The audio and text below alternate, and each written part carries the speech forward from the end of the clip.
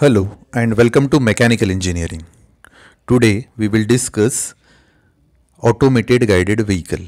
So here you can see the different automated guided vehicles and these vehicles are used to transfer the material at the shop floor.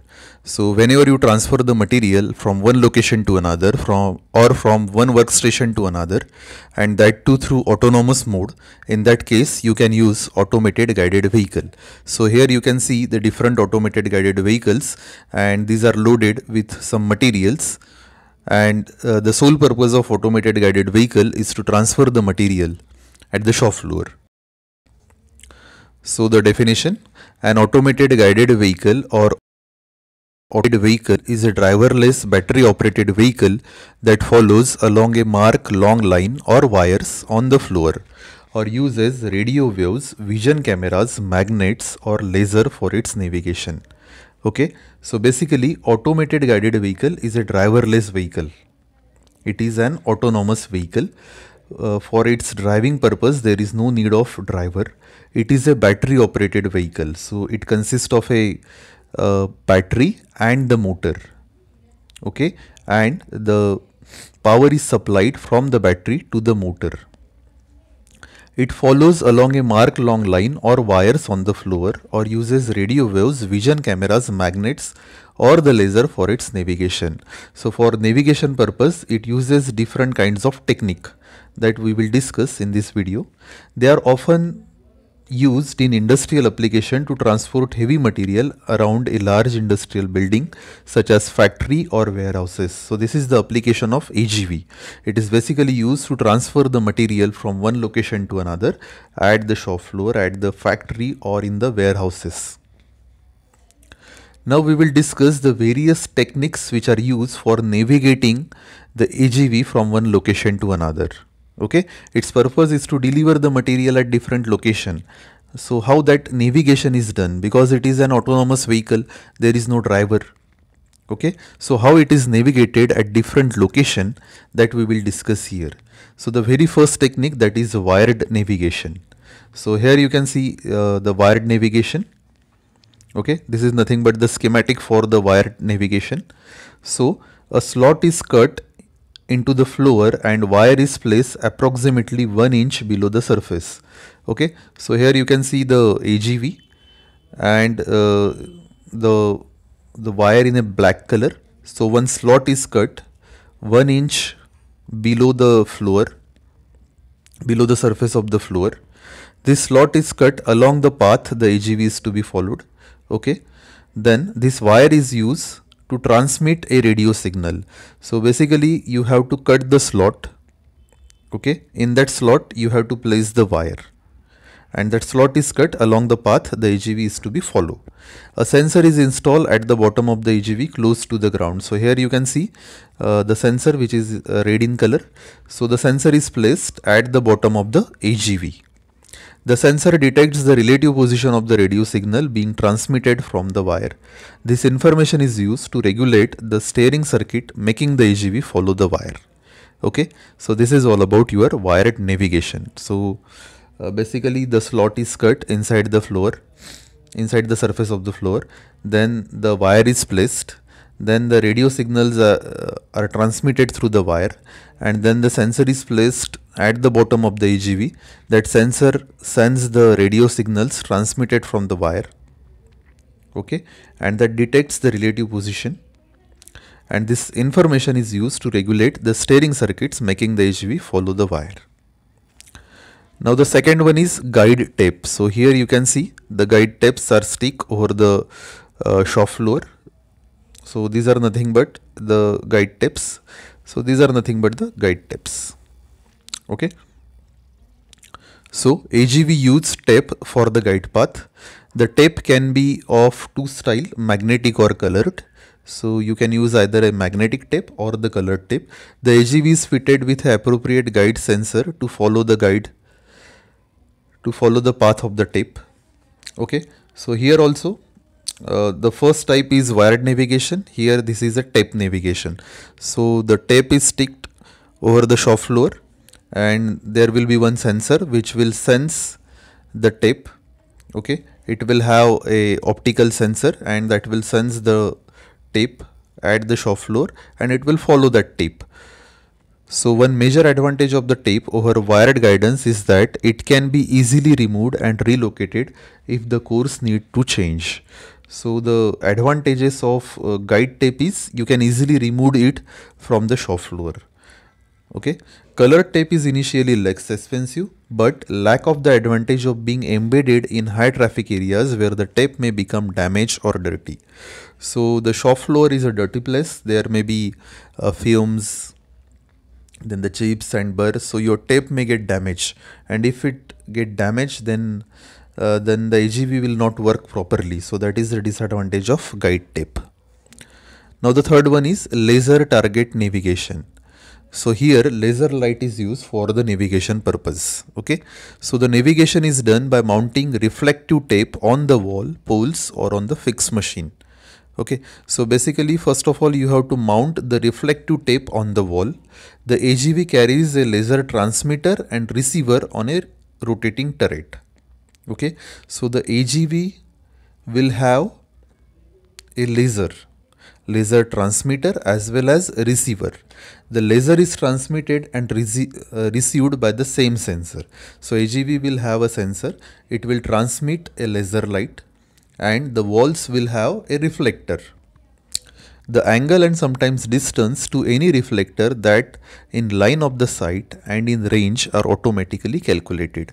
So here you can see the AGV will have a transmitter and the receiver, laser transmitter and a receiver whereas the reflected reflecting target is mounted over the wall. So the AGV will transmit the signal, it will get reflected from the reflector and it will come back to the AGV. Okay, so the angle and sometimes distance to any reflector that in line of sight and in range are automatically calculated. This information is compared to the map of reflector layout stored in the AGV memory. So first of all, you will provide the layout okay? And in the runtime the AGV will send the information. That information will be compared with the map. This allows the navigation system to triangulate the current position of the AGV so while after doing comparison it will calculate the current location of the AGV the current position is compared to the path programmed in the reflector layout map. Then the comparison is done. The steering is adjusted accordingly to keep the AGV on track. It can then navigate it to a desired target using constantly updating position. Okay, so this is all about your laser target navigation. Next one is gyroscopic navigation. So here basically we are using a gyroscope for the navigation purpose hence it is known as inertial or gyroscopic navigation. So it is another form of AGV guidance with inertial guidance, a computer control system directs and assigns tasks to the vehicle. So it will have a gyroscope. Here you can see this is a gyroscope which is mounted over the AGV. Okay, and it will have a computer control system. Transponders are embedded in the floor of the workplace. So uh, we have already discussed the wire navigation. Likewise here transponders are embedded in the floor of the workplace, the AGV uses this transponder to verify that the vehicle is on the course. A gyroscope is able to detect the slightest change in the direction of the vehicle and corrects it in order to keep the AGV on its path. So that is the purpose of gyroscope. So gyroscope is able to detect the slightest change in the direction of the vehicle and it will correct it. The margin of error for inertial method is plus minus 1 inch. Inertial can operate in nearly any environment, including tight aisles or extreme temperature. Inertial navigation can include use of magnets embedded in the floor of the facility that vehicle can read and follow. You can place the magnets, okay, and then the gyroscope will be able to detect the slightest change and it will uh, it will turn the AGV accordingly. Next method is vision guidance. So here you can see the camera is mounted over the AGV hence it is known as vision guidance. So vision guided AGVs can be installed with no modification to the environment or infrastructure. So the uh, the methods we have discussed so far we have to do some modifications either we have to uh, keep the wires inside the uh, floor or the transponders or the magnets or you have to place uh, reflectors on the machines or on the poles okay? But in vision guidance system we there should we don't have to modify our shop floor okay? They operate by using cameras to record the features along the route allowing the AGV to replay the route by using the recorded features to navigate.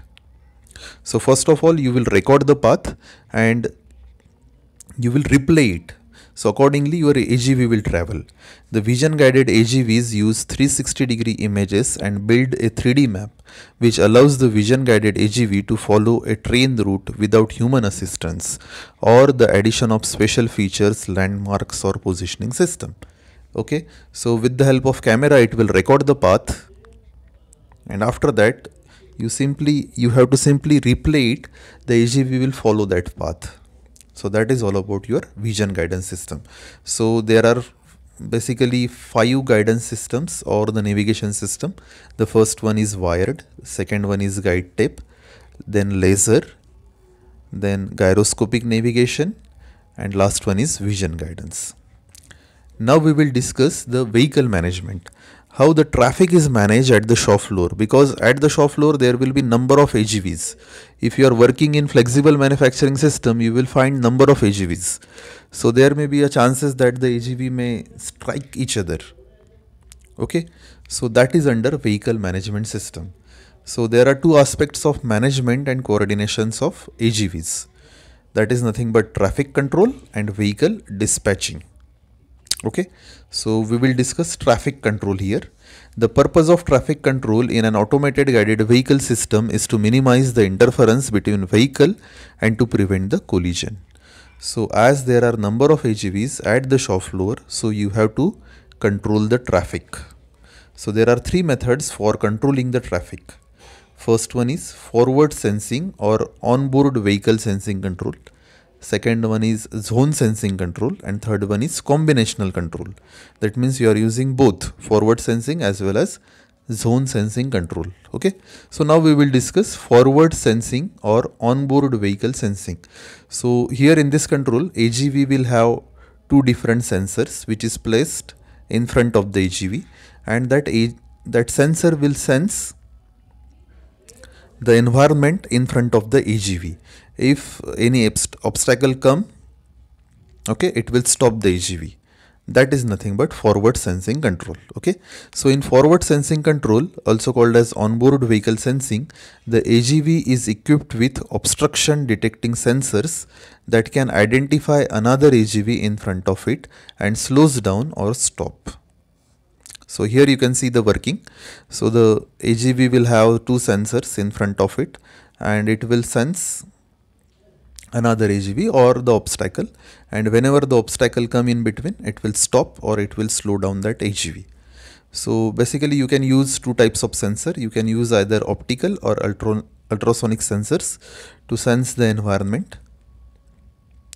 So as shown in figure there is a specified range or a distance that must be maintained between the AGV. So that sensor will have a particular range the sensing device commonly look forward to sense any object that falls within the specified range. If one vehicle gets too close to another vehicle, then the sensor will detect that vehicle and cause the one in the rear to stop. The movement of the vehicle occurs again only when the obstacle is removed. Okay, so the sensor will sense and accordingly it will take the decision. Now its suitability, the forward sensing control system is generally suitable for long and straight path. And drawback is the forward sensing control system cannot detect the obstacle at the intersection and around the corner as uh, it is sensing the environment in front of AGV only so it is not suitable for the intersection or around the corner. Now second technique that is zone sensing control.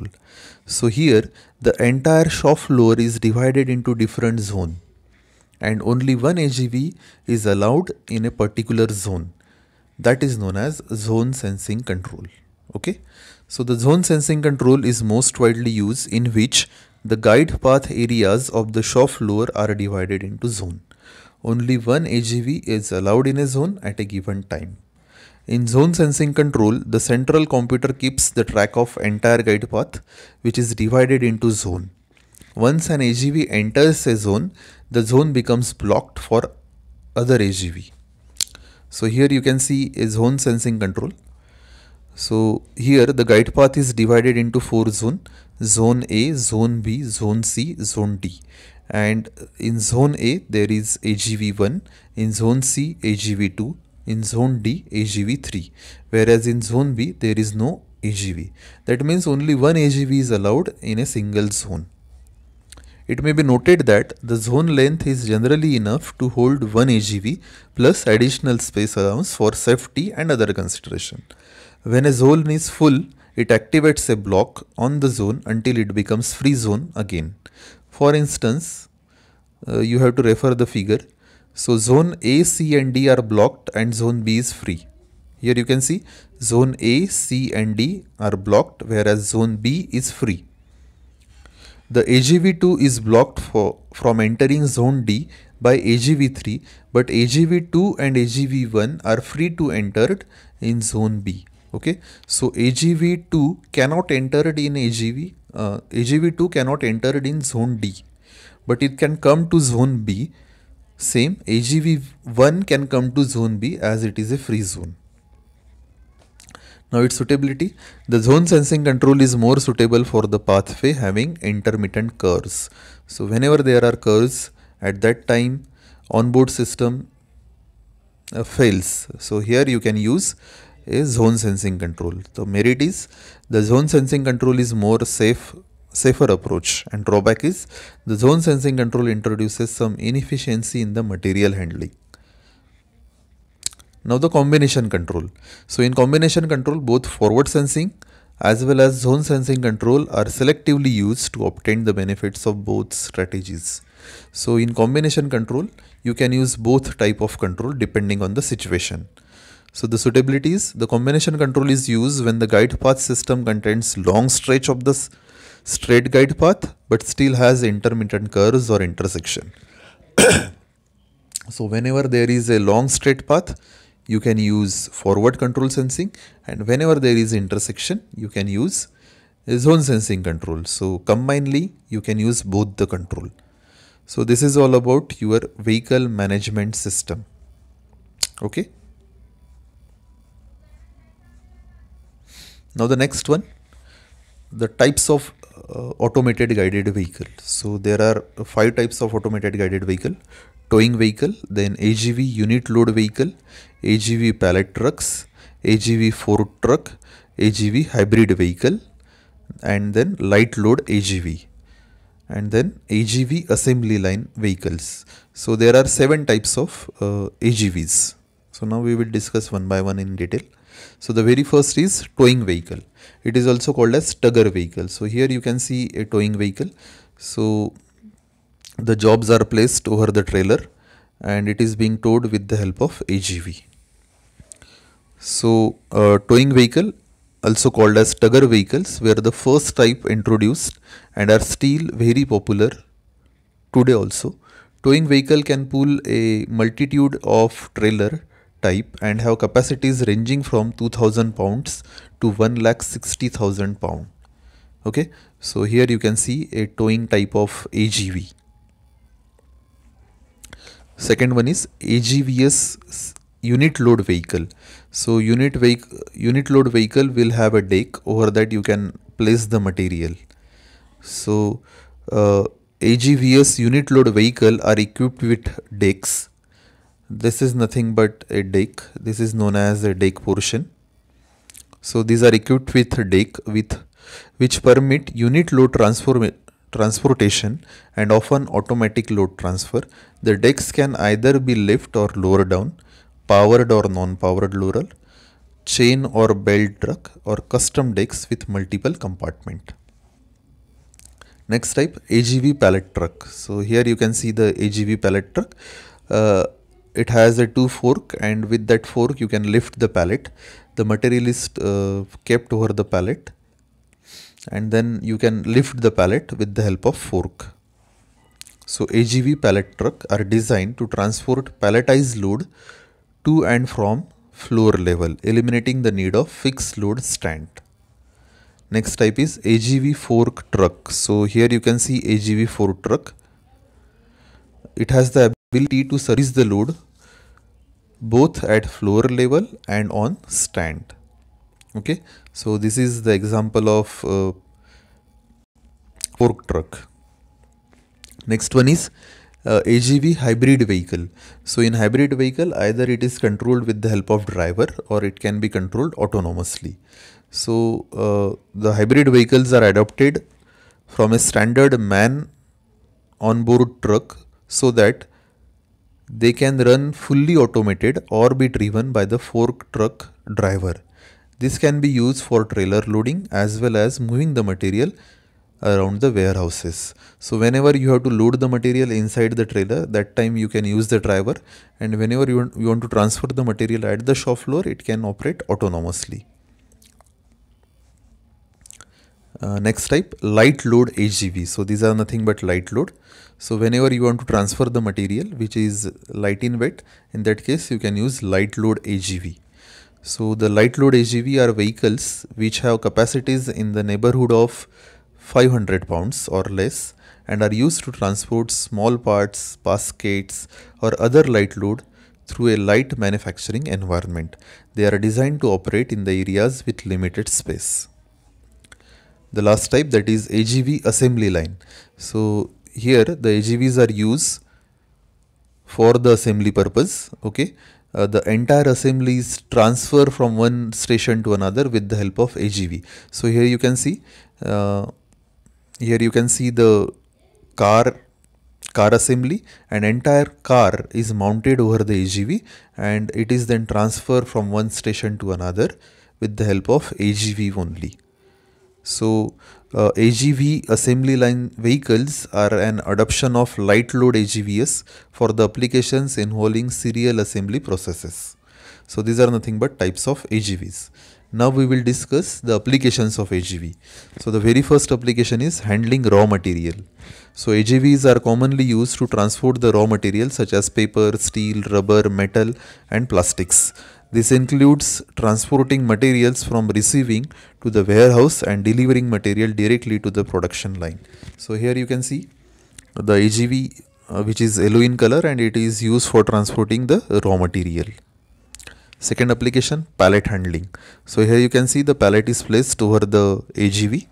So pallet handling is an extremely popular applications for the AGV as repetitive movement of the pallet is very common in the manufacturing and distribution facilities. AGV can move the pallet from the palletizer to the stretch wrapping to the warehouse storage or to the outbound shipping docks. Next application, finished product handling okay? So moving finished good from manufacturing to the storage or shipping is the final movement of the material before they are delivered to the customers. These movements often requires the gentle material handling because the products are complete and subjected to damage from rough handling. Because AGVs operate with precisely controlled navigation and acceleration and deceleration this minimizes the potential for damage making them an excellent choice for this type of application. So here you can see the finished material is handled by the AGV. Next one is trader, trailer loading. You can load the trailer with the help of AGV. So AGVs are used to transport and load the pallet of finished good directly into the standard over the road trailer without any special dock equipment.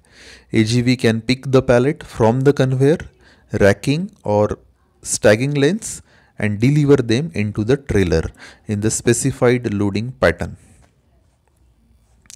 Next application that is roll handling. So AGVs are used to transfer the roll in many type of plant including paper mill, then converters, printers, newspapers, steel producers and plastic manufacturers.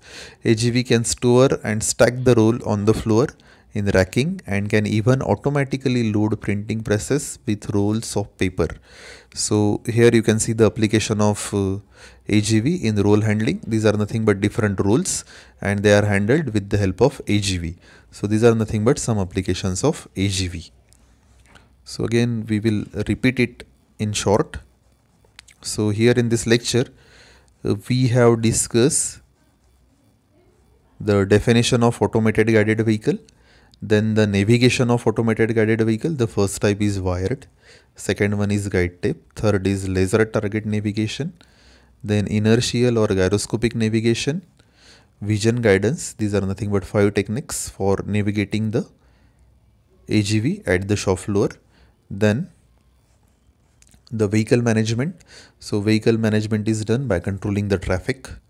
So there are three types of traffic control forward sensing zone sensing and combination control. Then we have discussed the types of vehicle.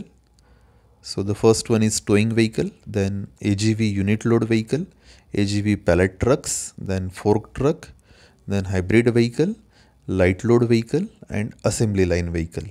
After that we have discussed some applications like handling raw material, pallet handling, finished product handling, trailer loading, roll handling. These are nothing but some applications of AGV.